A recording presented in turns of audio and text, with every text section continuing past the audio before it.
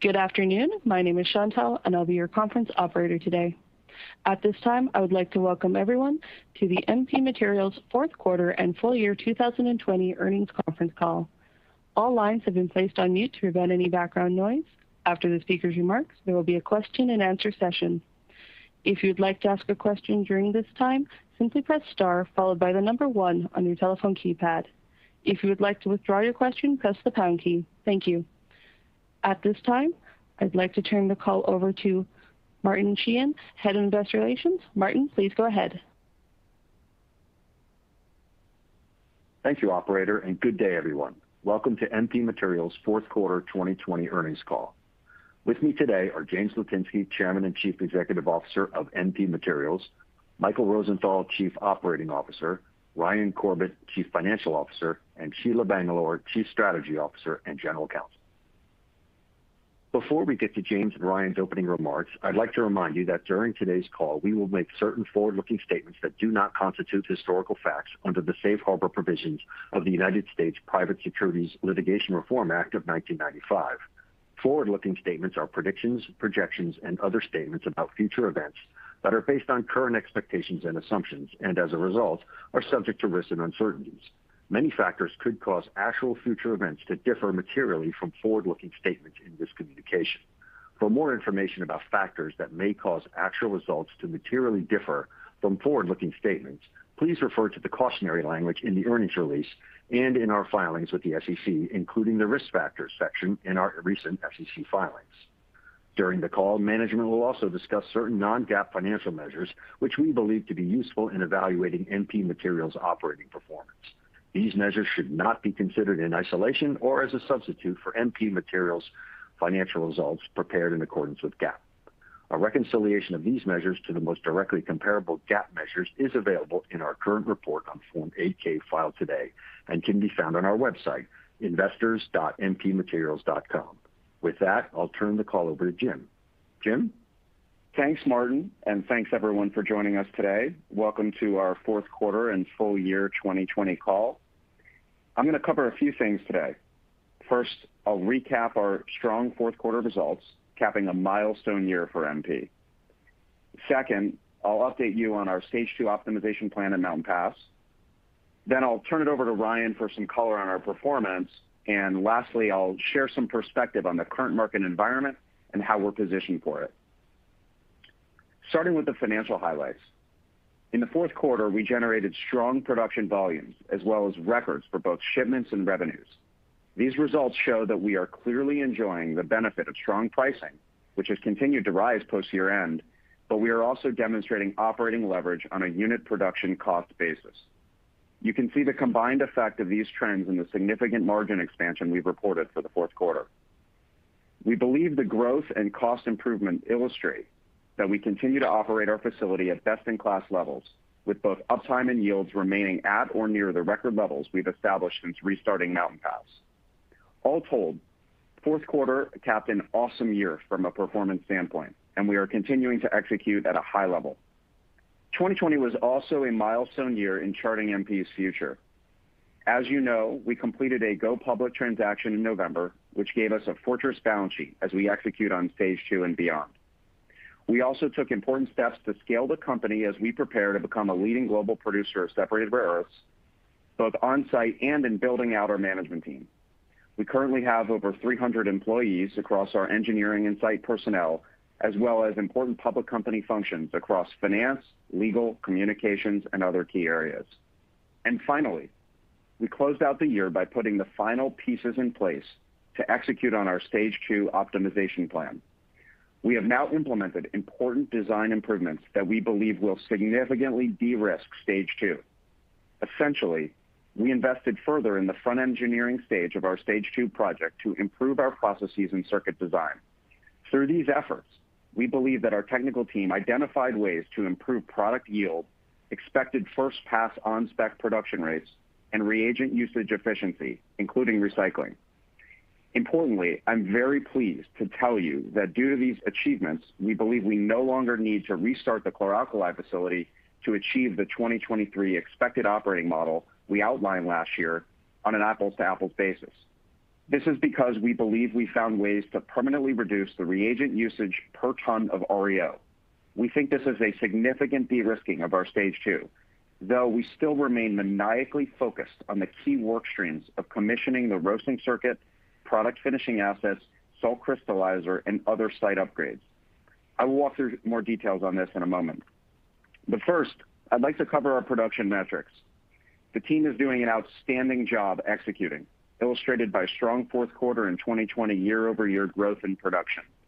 Importantly, while we've increased shipment volumes by 20% in the quarter and 40% for the full year, concentrate pricing in the fourth quarter increased 70%, demonstrating that the demand for NdPr remains very strong. And you can also see here the production cost improvement I highlighted a moment ago.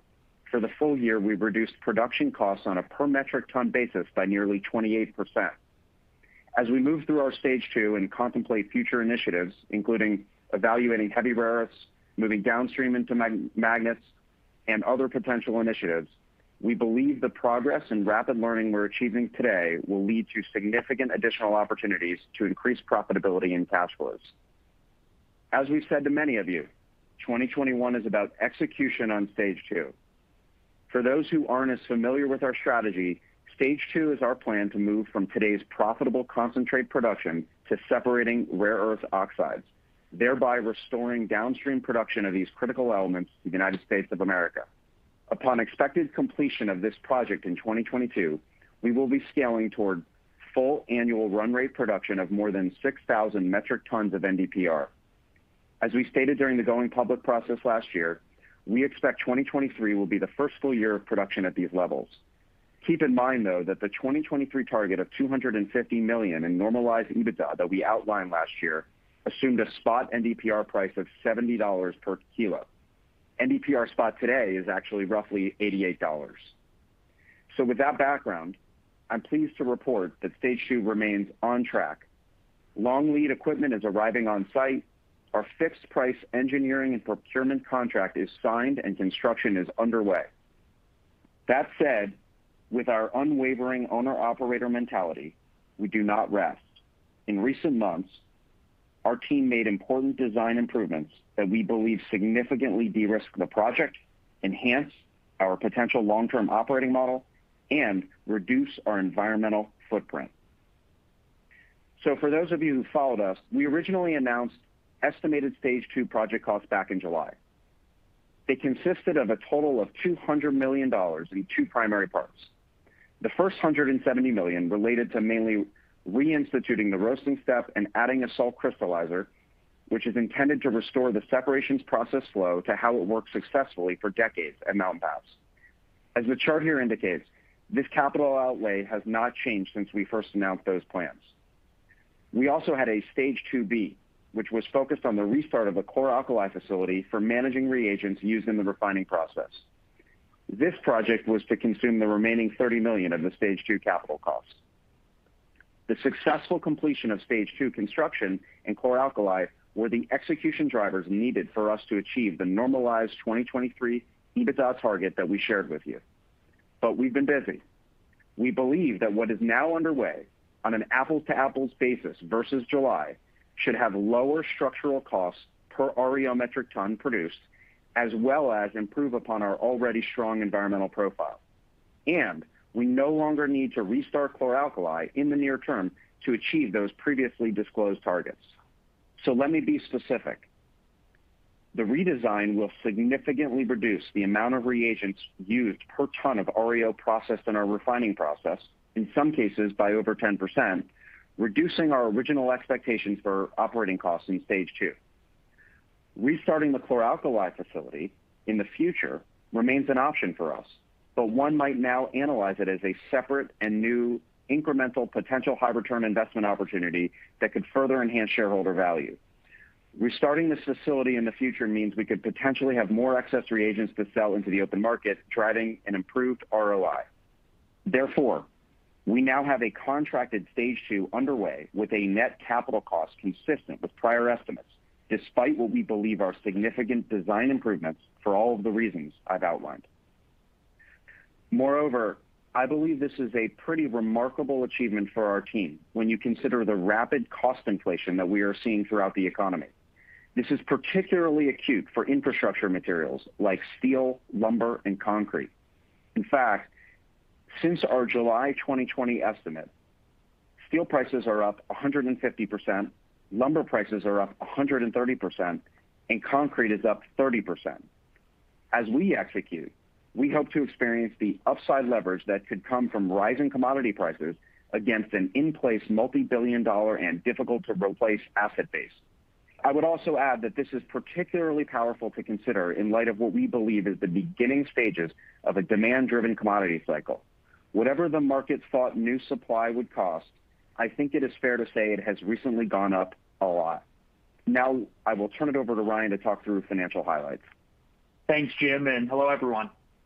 Uh, Jim already covered a few of the financial headlines, and we have all of the details in our press release. So I'll give an overview of how we think about our financial results and share some thoughts on how we're looking at 2021. We delivered impressive growth in Q4 and for the full fiscal year.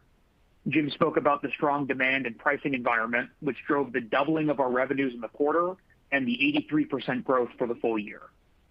The lifting of import duties in China has also contributed to higher realized prices. But the headline for us is that demand is strong, and although we can't predict pricing or shipping schedules quarter to quarter, we expect to continue to sell through all of our production. In addition to the price and sales side of the equation, our adjusted EBITDA benefited from the continued excellent work Michael and his team are doing to improve our processes, reduce risk, and ultimately increase the productivity of Stage I. Unit costs were down year-over-year, mainly due to these process improvements, which drove a higher average concentrate grade and higher mineral recoveries compared to last year. Put another way, our improvements are generating higher percentages of rare earth oxides in concentrate, and we continue to achieve higher productivity per ton of ore fed.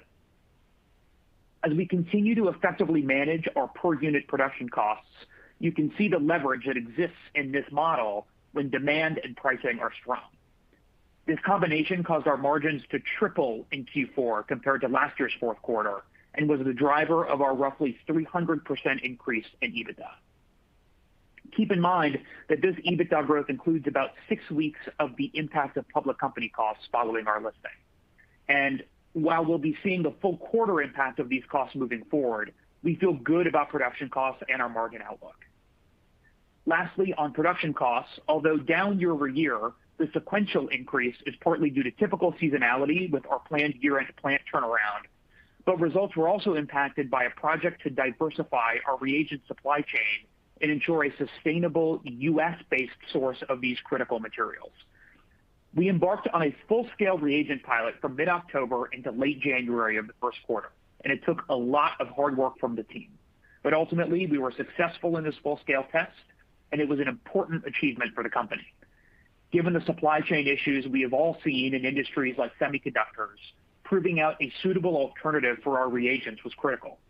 As you would expect with a limited volume commitment for a trial, pricing for these reagents was slightly higher per unit of contained REO. But the tremendous success of the pilot, as evidenced in our record production, gives us confidence that we now have supply redundancy that would come at a similar or better per-unit cost of our current reagent scheme. So although costs were up slightly from Q3 on a per-unit basis, the reduction in risk to our Stage one process was well worth the investment. On the next slide, I thought it would be useful to dig into our reported cash flow and provide some context so that you can see how our Stage one process is generating free cash flow for the business. In the appendix section of the slides, you'll see a detailed walk of how we get from adjusted EBITDA to our reported operating cash flow and then our reported free cash flow. But looking at slide nine specifically, on the left side of the chart, you see our free cash flow for the year was negative $19 million. If we adjust for our offtake paydown, the CapEx spent on our Stage II optimization and related projects, as well as deal expenses and one-time items, our Stage I process generated approximately $34 million of normalized free cash flow in 2020. That's a very strong 25% free cash flow margin for the year. Keep in mind that the offtake balance is essentially debt, but per U.S. GAAP, the impact of the paydown of that agreement, because our offtake partner retains a portion of the cash from sales to pay down the obligation, that runs through our operating cash flow instead of financing in the cash flow statement as might be expected, which is why we believe it's relevant to add back to our free cash flow for a comparable metric.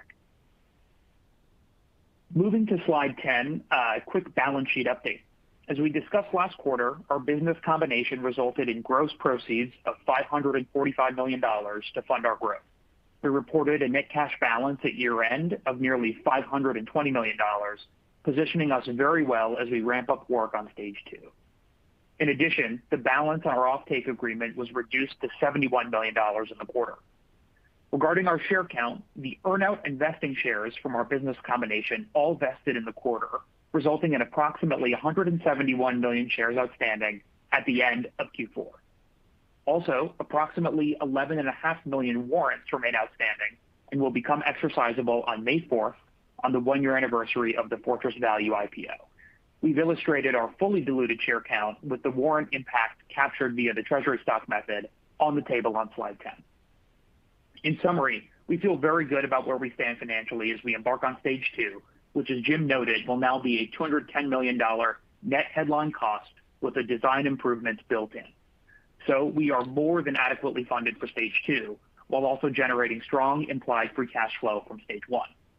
All that said, with our markets developing rapidly, we will be opportunistic with respect to how we manage our financial capacity and flexibility, particularly as we see opportunities to pursue our mission of fully restoring the supply chain to the United States.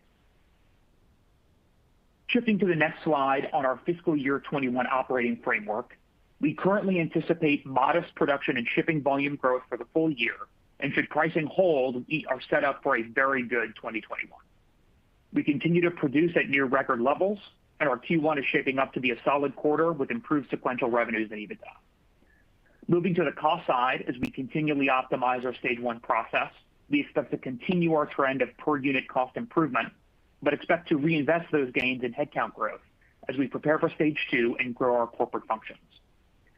Some of you might also be wondering about shipping, given reports of congestion at the Los Angeles and Long Beach ports.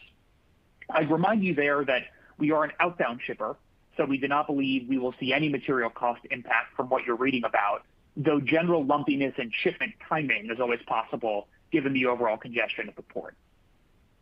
As for the Stage 2 capital spend, the ramp in capital costs is essentially beginning now, with the majority of that $210 million spend occurring in late 2021. Now I'd like to turn it back to Jim to wrap up. Thanks, Ryan. I would like to take a moment to remind everyone of the extraordinary opportunity unfolding for MP. When we founded the company in 2017, we saw tremendous potential in Mountain Pass, given the incredibly unique nature of the asset and its importance to electrification and supply chain reliability. We were fortunate, though, to have a few tough years to help us build confidence in our mission and to put in place an owner-operator culture focused on execution. We are now in the early innings of a multi-trillion dollar industrial transformation of the global economy, and MP will be a part of shaping this future. Just since our listing on the NYSE in November, it feels like the theme of electrification and decarbonization has accelerated even faster than most people expected. We see global OEMs, including Ford and GM, along with their Chinese, Japanese, and German counterparts, announcing plans to accelerate the transition away from combustion engines. Maybe it can be best summed up by a quote the other day from Herbert Diess, the CEO of Volkswagen, who said, "Our transformation will be fast, it will be unprecedented. E-mobility has become core business for us."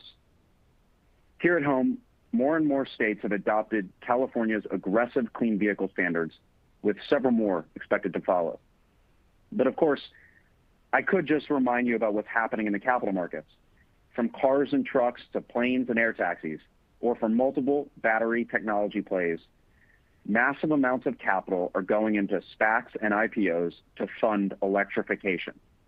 The enterprise value of companies focused around auto electrification now exceeds 1 trillion, and that doesn't even include the other 1 trillion plus from the legacy OEMs. We see a pathway of literally hundreds of billions invested globally over the next five or so years, and then likely into the trillions beyond that. like any great boom, whether it was the railroads, the ICE automobile, or the internet, youthful industrial excitement and unending possibility eventually seasons into maturity, competition, consolidation, and failure for some. But every great American gold rush era needs its picks and shovels or blue jeans plays, and this one is no different. We believe MP serves that kind of role. Speaking of blue jeans, there are a few areas of overwhelming bipartisan consensus in America right now, but supporting resilient domestic supply chains is certainly one of them. Our mission is to restore the full rare supply chain to the United States and to do so sustainably. And we believe Washington, D.C. is getting focused on stimulating much more success for companies like ours. But we won't hold our breath. Right now, we are focused on the relentless execution that I've outlined. We are moving forward, improving our stage one operations and implementing our stage two optimization. In fact, a key third-party industry research firm recently published that MP is expected to be the world's lowest cost rare earth producer when we complete stage two. We tweeted their chart last month, so please check that out. While we do all this, we are working in parallel on our longer-term approach for stage three. Ultimately, the main use case for rare earths is for magnets, and the size of that opportunity is enormous. So we are profitable with a strong balance sheet. We are the most environmentally responsible company in the rare earth industry, evidenced by our modern facility and location in California. We believe we are on track to being the world's lowest cost producer, and we are the only scaled Western supplier of a precious commodity that is critical to electrification, decarbonization, and national security.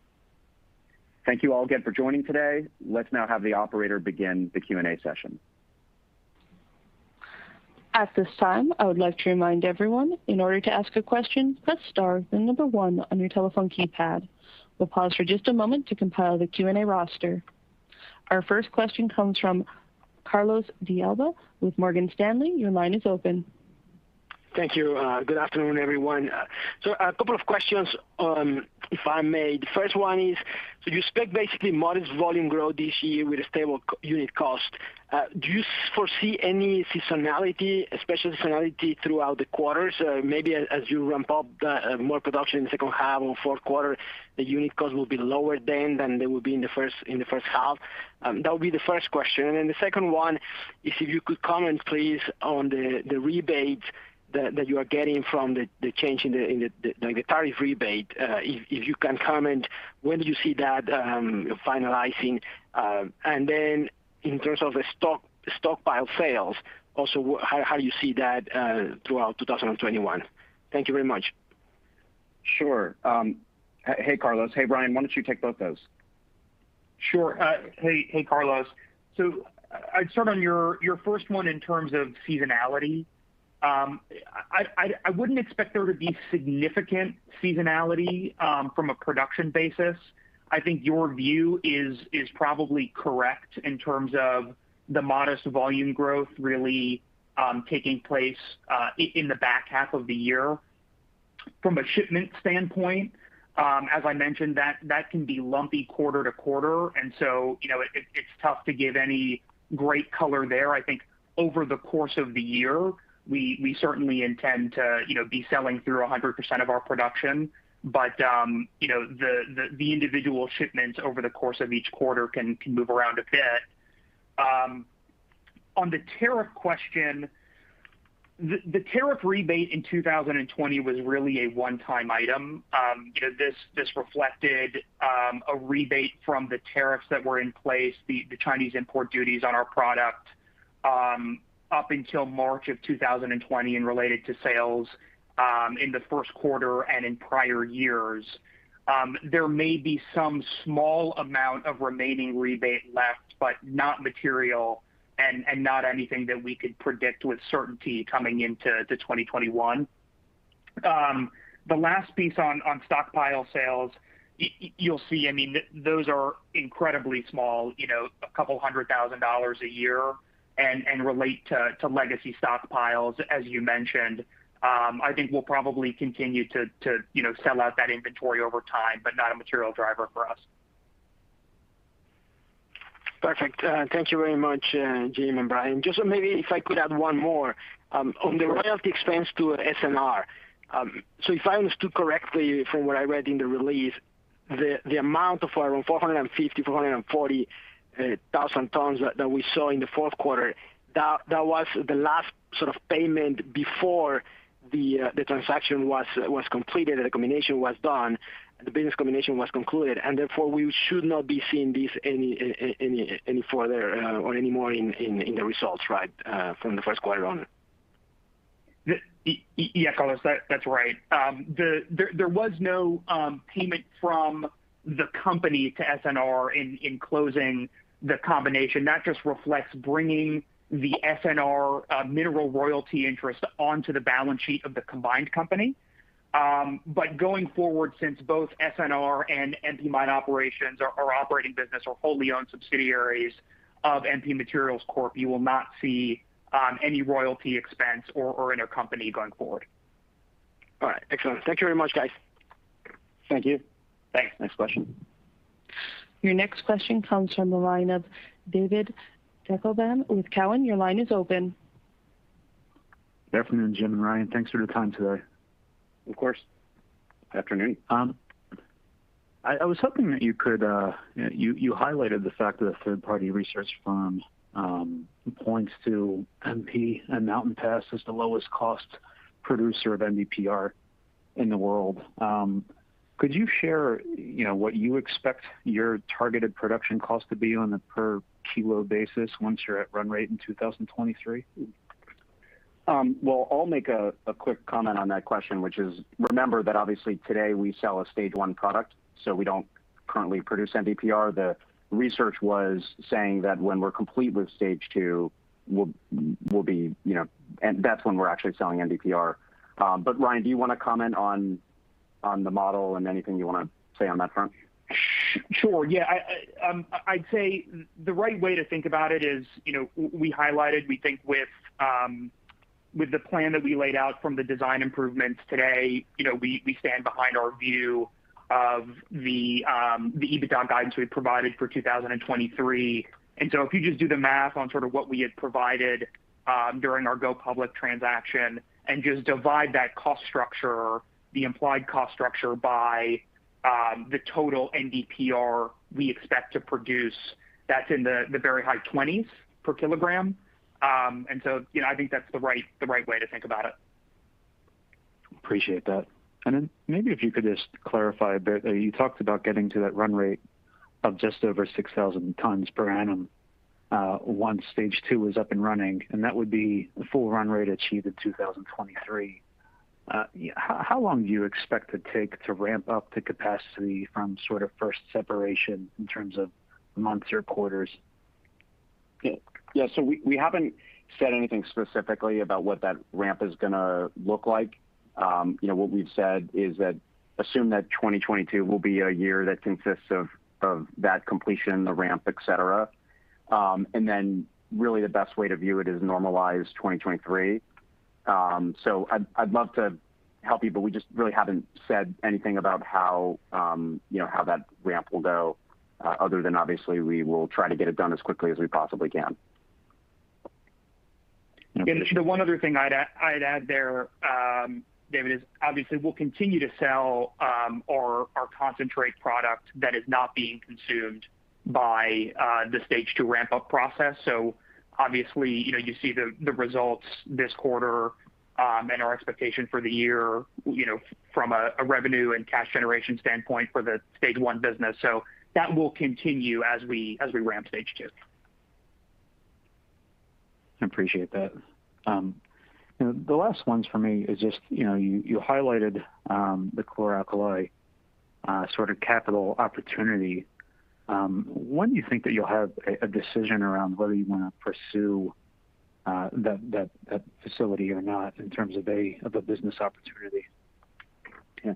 We don't have a timetable on that. I think the the important thing to realize is the substantial progress that we've made with respect to these design improvements, where basically we we believe that um, we can deliver on the 2023 Um, operating model improved obviously relative on. And obviously we're saying on an apples-to-apples basis relative to before. So we think that that's um, a pretty exciting achievement.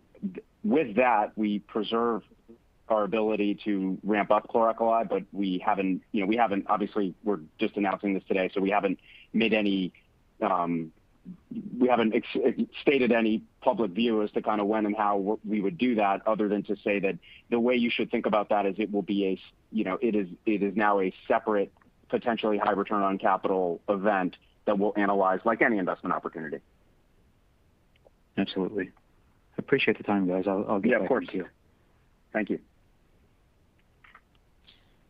Your next question comes from the line of Chris Terry with Deutsche Bank. Your line is open. Thank you. Uh, hi, Jim, uh, Ryan. Hey, Chris. Michael. Hey there. Hope you're all well. Um, I have a few questions. I'll just maybe do them one at a time. Um, first one, just on the reagents. Um, sounds like an exciting opportunity you have there.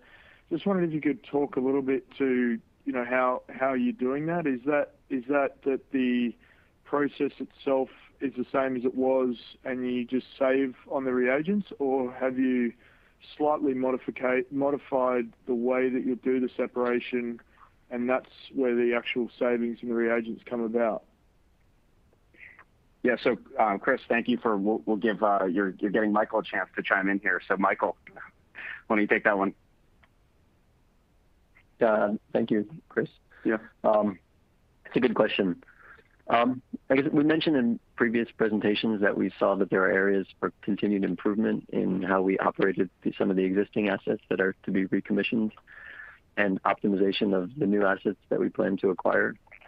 Um and these opportunities rose from our deep understanding of the previous generations of Mountain Pass operations, as well as certain industry best practices, particularly in China. So earlier last year, we decided to extend the front-end engineering um, schedule in order to spend more time um, on R&D and pilot work uh, before finalizing our process flow and equipment list. So ultimately, we developed enough confidence in some of these developments to incorporate that into the into, into some design changes in our final process and equipment list. Um, so some of those some examples of that are on the roasting and leaching processes. We work to optimize the roasting and leaching conditions to improve the NdPr recovery, maximize cerium removal, and minimize reagent usage.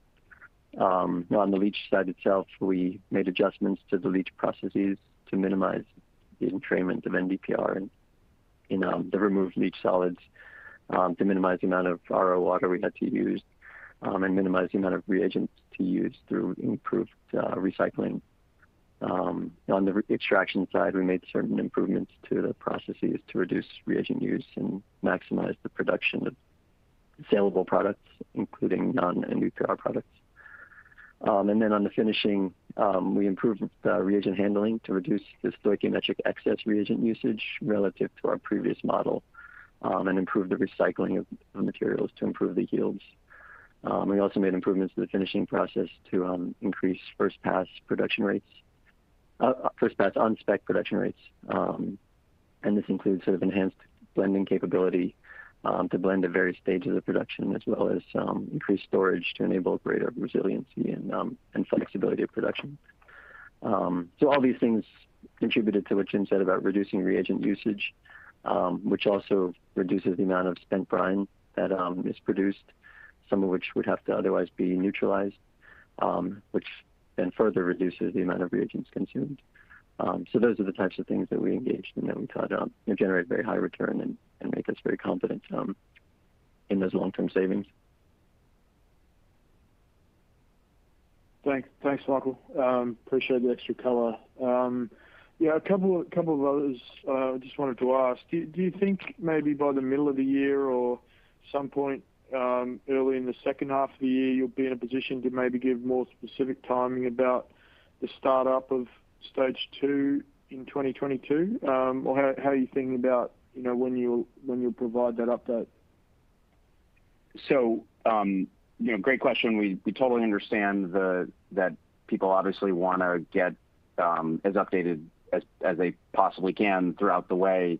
We're going to do our best throughout this year to Um, be transparent, let people know uh, what's going on. Um, hopefully we'll try to have some visits later in the year uh, so people can kind of see for themselves.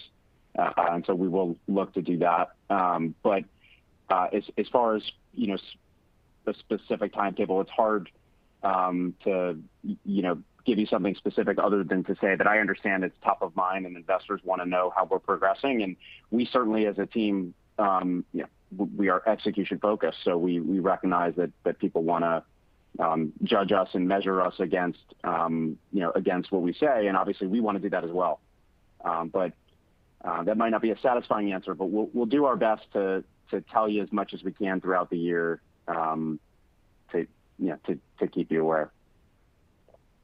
Okay. Okay. And then just moving down a stage to stage stage 3.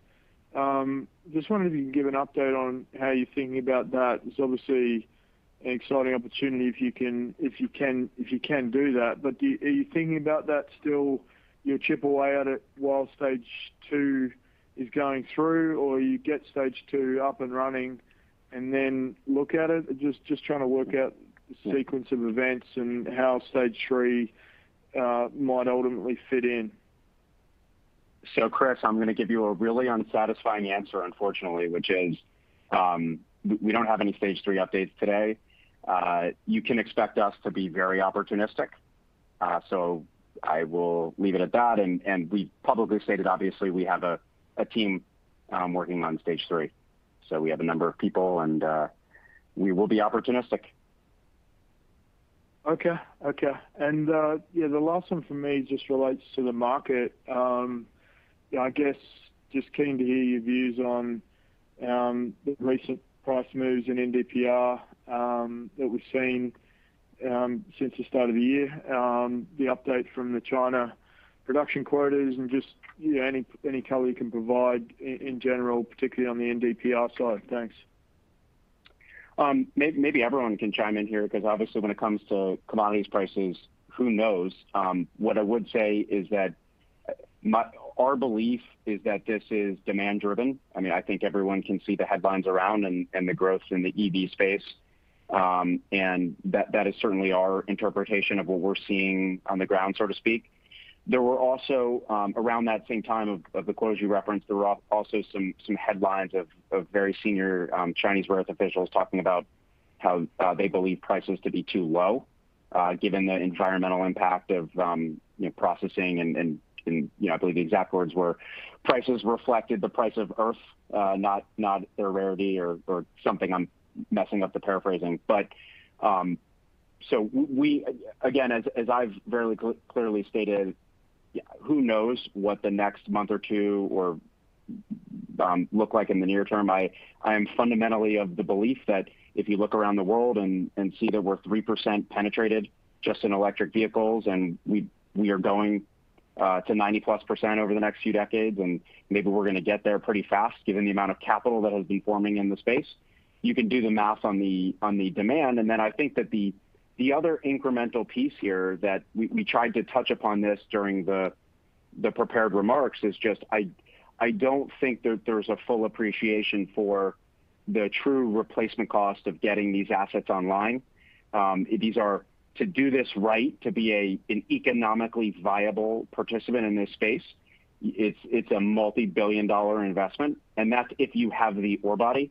As you know, we have a 7%+ ore body relative to kind of some of these other projects you might see out there Um you know, in some of the junior mining or other spaces. They're typically around 1% or 2%, if that. And so again, it's just a look through across if you had unlimited capital and you had um, a permit and and a plan uh, and um, and a viable ore body, sort of none of which really exists today in the Western world. But if you had that, you then have to build um, a separation facility. And so this is a a massive investment. And again, I think given what we're seeing in materials costs and and given the expertise required, I do think that that people are going to find that the ability to bring new supply online is going to end up being more challenging and more expensive than they might otherwise think by just sort of throwing a number out there. Um, but that will be something that we will see prove out over time in the coming years. It certainly is nothing that will be you know playing out in the next uh, month or two. So uh, Hopefully that's sort of a long-winded way of of uh, giving you our perspective on it. I don't know if Ryan or Michael want to chime in, but that's our house view.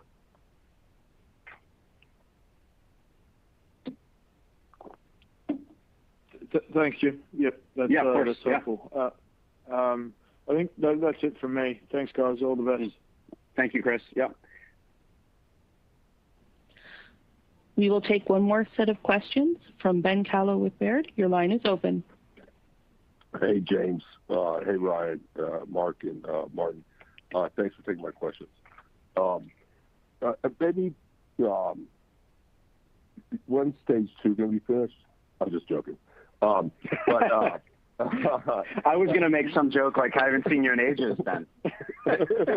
No, but you talk about you know the downstream, I think, because I think that maybe uh, it would be helpful to figure out you know you know how fragmented the market is, um, you know, and what that really means, and then how close to the customer that is, and then how you think that that could you know help um, maybe mitigate Uh, price fluctuations uh, uh, you know, in rare earths as you move downstream. When you say the downstream, you're referring to separated, so so stage two, right? Oh, stage three. Yeah. Oh, stage three. Well, um, I'm going to give you the same unsatisfying answer that I gave Chris. Maybe I'll say it with a little more gusto. But um, we don't have any stage three updates at this time, but you can expect us to be extremely opportunistic. Um, I'll leave it at that on stage three, but it might be helpful. Oh. I was asking about the market, like how fragmented it is or uh, just in general, um, and what that does for pricing. Oh, I see. Um, yeah. Well, I think that here's I think here's what you here's the answer to what you're asking, even if you're not specifically asking it, which is that we have to remember, again, and I um that this is a total transformation of the supply chain, right? We've never had an electrification of the OEM market, let alone the global economy, right? And so when we think about what the downstream looks like, certainly the downstream today, the magnet industry is controlled in China. Um, but the reality is that as we evolve globally into, you know, you heard me quote the CEO of Volkswagen, you certainly see what's going on globally with investment. It's unlikely that there's going to continue to be a single point of failure in the supply chain in areas where there are viable alternatives. Um and so we believe that we're positioned really well to provide that. And so uh the the reality is that the magnet business today is mainly concentrated in China. There's a little bit in Japan. Um but our belief is that we will be part of, that's obviously core to our mission, is that we will be part of the shaping of that as this whole world evolves. And again, this is just such a huge opportunity when you think about, just do the math, whatever the, the and we've obviously put out slides on this, of what you think the the magnet business is today for EVs. If it's if it's 3% penetrated and it goes to 30%, that's that's a 10 bagger roughly. Maybe obviously there'll be some scaling, but it's still it's a huge opportunity. And and so um, we we plan on being part of that solution. The other thing I would say is, as far as the magnets, you definitely there's a variety of customers as the industry stands today. The OEMs can be involved, the motor makers can be involved, or the magnet producers. And so this this downstream supply chain, there are different parties involved in it, but we certainly know who the players are. You know, we don't need a huge sales force to go out and talk to these folks. Um, they know who we are, we know who they are. And so I think that it's just another one of these things. You know, right now, if you think about the legacy OEMs, they're they're thinking about evolving their business. They haven't gotten to some of these other issues because they're literally drinking from a fire hose. There are so many issues when when you're talking about this scale of GDP that is transforming. There are just so many issues, and it creates chaos, right? And that's. You see capital formation in many companies, and you know, the good news is that there's going to be some winners, there's going to be some losers. Um we don't need to we don't need to take an extraordinary amount of risk, and we don't need to take over the entire industry. All we need to do is be thoughtful about how we invest and execute, and it's just a pretty extraordinary business opportunity. And so I again, I know it's not a super satisfying answer, but the the truth is is that it's a supply chain that doesn't exist yet, and we believe we're going to be part of creating it. Thank you. And, I- I and Ben, this is Go. Okay. this is Ryan. I- I'd just add real quick on that. You know, a, couple of thoughts. Adding to what what Jim was saying in terms of, you know, we don't need to to take a ton of share. I mean, you know, we get asked a lot about, you know, the magnet intensity per electric vehicle and all those things, and, and certainly you see in our materials, we think that you know the EV piece um, of the market is growing incredibly fast. But take the entire magnet market, we think capacity between now and 2030 has to double in this industry. And so I think the other thing that, that's really playing into our favor in a market that already we think needs to double is I think what a key differentiator will be is access to raw materials. Since we've been at this and had conversations with customers, the thing that has surprised me is the amount of time um, that we have very, very downstream customers, you know, all the way down to the OEMs of various types of things, not not just electric vehicles, now coming hand in hand with magnet makers to us, trying to understand, hey, if I sign this contract for magnets, is there going to be NdPr there to back it up? And so I think it's a really critical differentiator being vertically integrated and, you know, something that really no one else can do.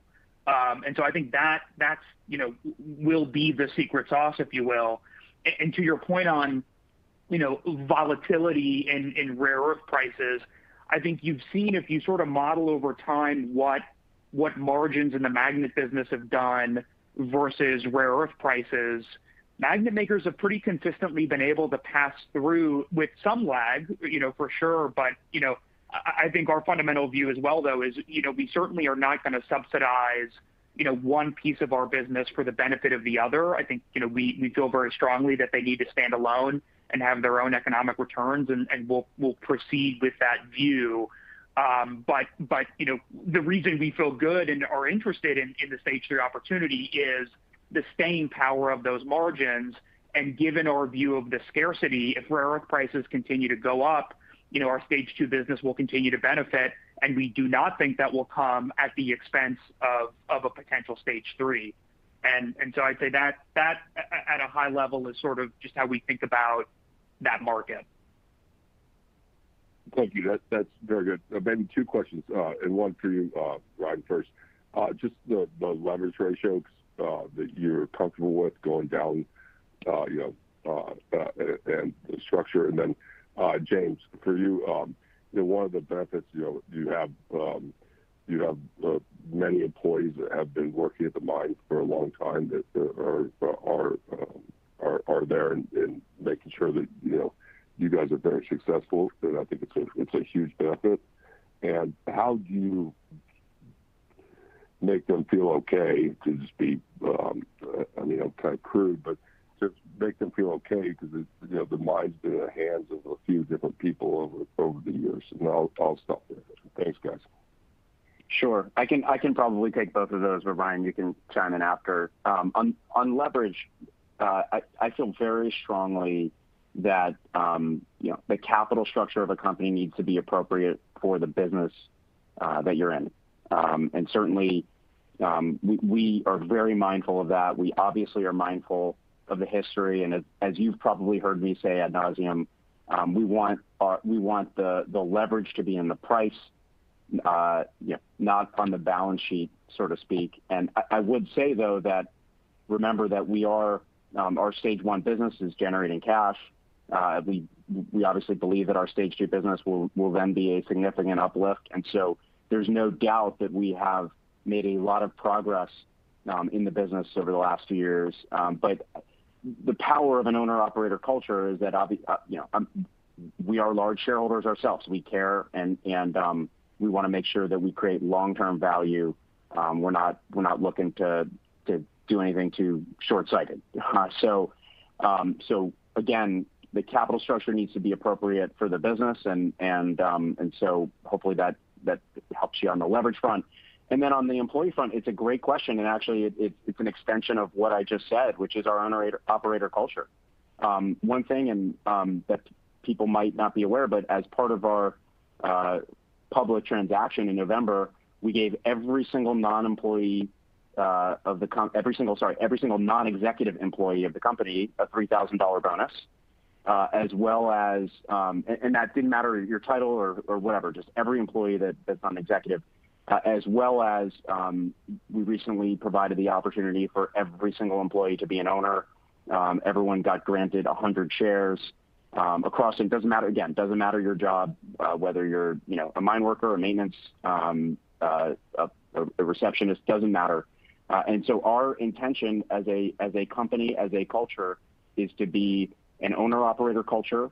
Um, I think that we've uh I think we've delivered on our promises to the base out there of making sure that we were going to share um, in the good fortune when it comes. And we've been through a number of tough years, and I think we've certainly delivered so far an outstanding result. Uh, and we you know we are going to continue to work the way we always have to create a lot of value here. And um, our employees, we expect to all participate in that and uh, hopefully increasingly over time.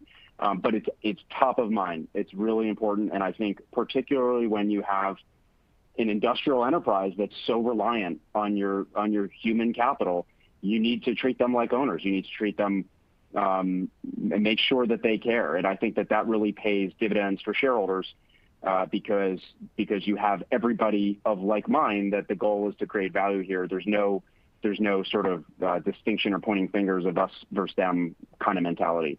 And so, you know, hopefully we we will continue to to get that piece of it right. And I think that uh, as far as we can tell, you know, everybody is very happy um, that that we've been so successful, and we think we have a long way and to go and much success ahead, and they'll participate in that upside.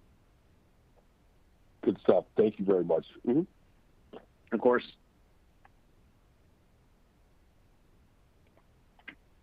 Okay.